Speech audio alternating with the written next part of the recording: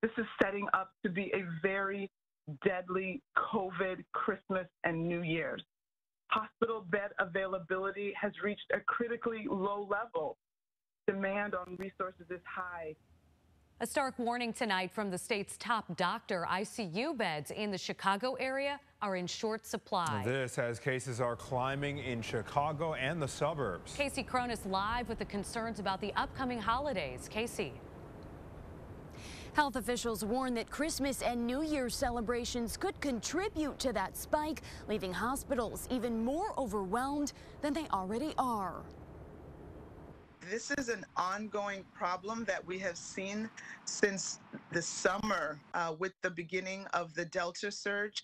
And it doesn't look uh, like we're going to have uh, a reprieve over this holiday season. Think twice. It's a grim warning a week from Christmas when it comes to family get togethers. This as state and local doctors are seeing an alarming rise in COVID cases and hospitalizations. In Cook County, ICU availability is down to 11%. In other parts of the state, like Will County, it's as low as 7%. Our key message here continues to be get the vaccine.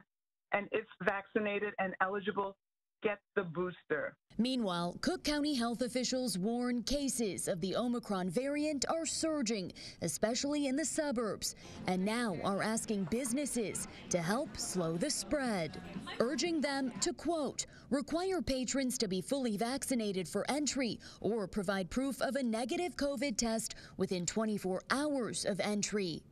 Despite officials calling for heightened mitigation efforts, Illinois Department of Public Health Director Dr. Ngozi Ezike says the possibility of another lockdown is unlikely.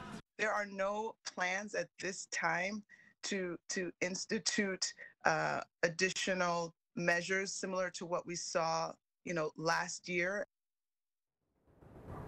This Sunday, Cook County will once again host walk-in booster shot clinics at three locations from 10 a.m. to 4 p.m. Those will be held at the Arlington Heights Health Center, the North Riverside Health Center, and the Blue Island Health Center.